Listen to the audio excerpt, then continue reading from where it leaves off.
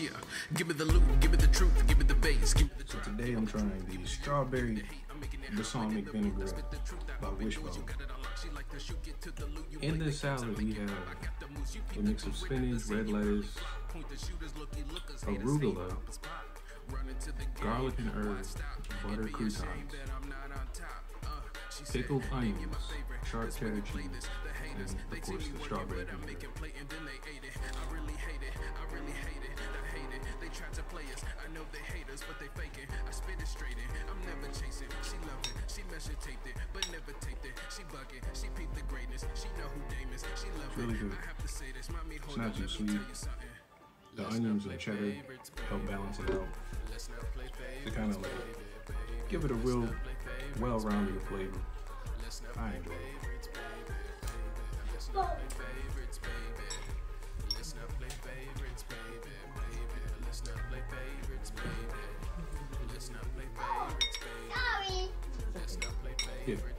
really good.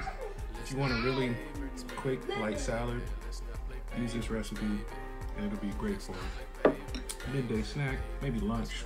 Give it a go. Let's get it. We are here. It is Thursday. I'm about to actually put in some work on the old keyboard today. So make sure you're ready and activated. You are now tuned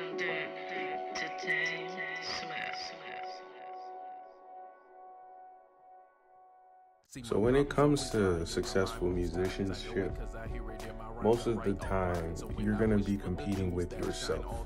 Like you're not necessarily gonna be like putting out hit songs every week. There would be a formula to that, right? And so when it comes to things like making good quality music, that comes down to your goals with the music. And a lot of you don't necessarily put a goal for the music, but you put a goal for like making money from music, but not necessarily how we even enjoy your music. So put that at the forefront of everything. So personally for me, when I make my music, depending on the genre, that changes the approach. So if I'm going to do jazz, I personally believe there should be more personal improvisation involved, a little bit more spontaneity, variety, excitement, and things like that. Unless you're trying to really convey some type of mood or message, right? But then when it comes to things like, let's say, hip hop, pop music, electronic music, other things that I'm trying to dibble and dabble with, I typically and personally believe that you should focus on making things that sonically feel good. Like it shouldn't be like dissonant, distorted. Well, you can use distortion, but I mean like in the point to where like it's painful to listen to, you know. But after that, you want to go for like either high energy, and if you're going for a more low energy song, then you want to make sure that sonically everything's there. You're making space for all the sounds and things like that.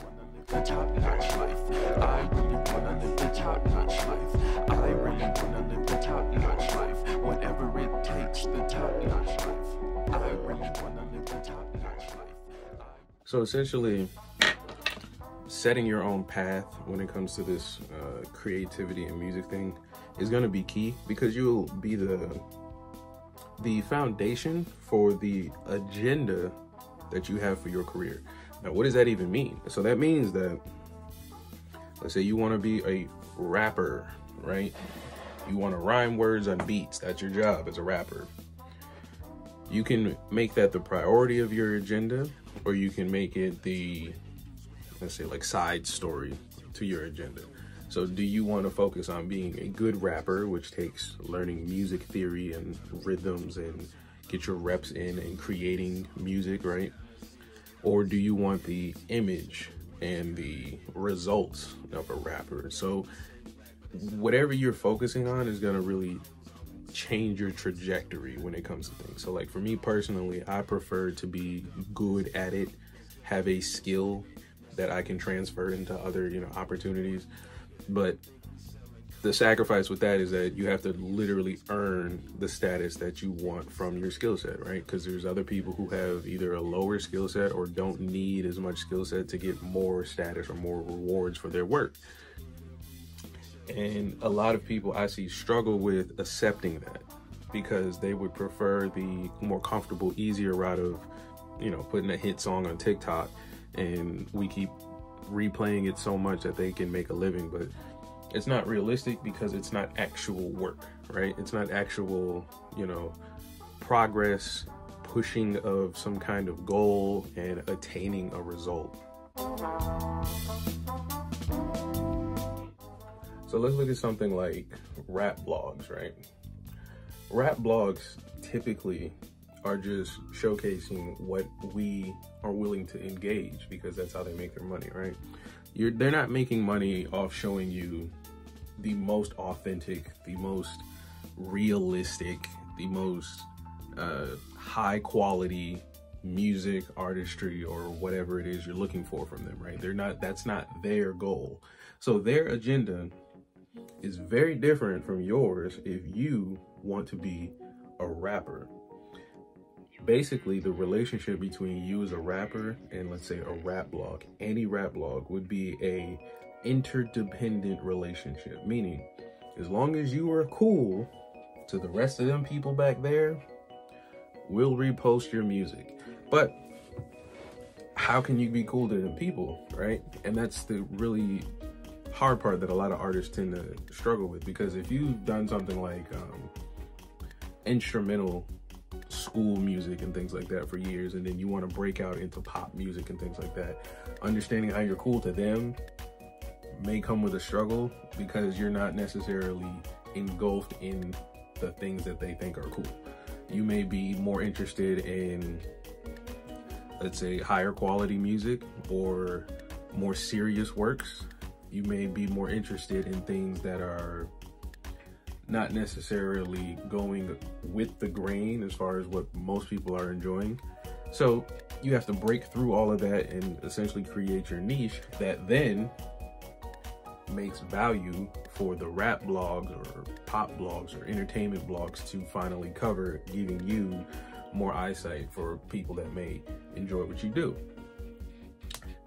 But the strange thing about having to deal with that, right, is you will struggle with giving the people what they want and then expecting people to respect who you are and what you make and things like that, your personal story and stuff like that. So that's why it's important to find your lane because everybody's not going to like you, right? But if you're controversial enough, if you're engaging enough, they will clearly look at what you're doing, but will it be of value to your agenda as an artist? And that's the, the key thing you have to really figure out as an artist. What is the key thing that you're here to do as an artist that amidst all types of obstacles and hurdles in your way, that's the main focus. What is that for you as an artist? Because if it's just, I want a hit song, then we can give you a hit song, but it won't do anything for you other than we just know your song. We've seen plenty of hit songs before. You know the names of people with hit songs that you don't search for any more music for. You know, it's a real thing.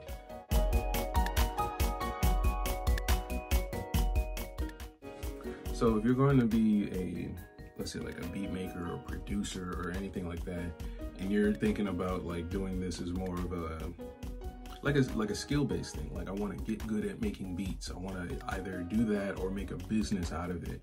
Then you're gonna want to figure out what's the focus that you want this whole thing to be about. Because if it's something along the lines of like I just have fun with it, um, it's just a thing I like to do. The worst one I see is um, I'm keeping real hip hop alive um, from the 90s, things like that. Like, if those are the things that motivate you to keep making beats, making music, writing lyrics, or playing your instrument, you're not going to stick with it because that's an emotional attachment. You don't have a duty to the thing that you're doing, right? So, if for some reason tomorrow Little Nas X drops a song and no one's listening to boom bap hip hop, all the people who were emotionally attached to boom bap are gonna feel some type of way and either gonna step away from the world and reject everything and resent all the, the pop culture that's going on, or they'll learn to embrace it and find out how to make what they do work within everything else that's going on. So this is something that you struggle with. This you may want to ask some questions in the comments about how you can make this better, what things will improve your situation as far as getting an agenda as an artist and making sure your agenda as an artist is a valuable one. So let's get to it.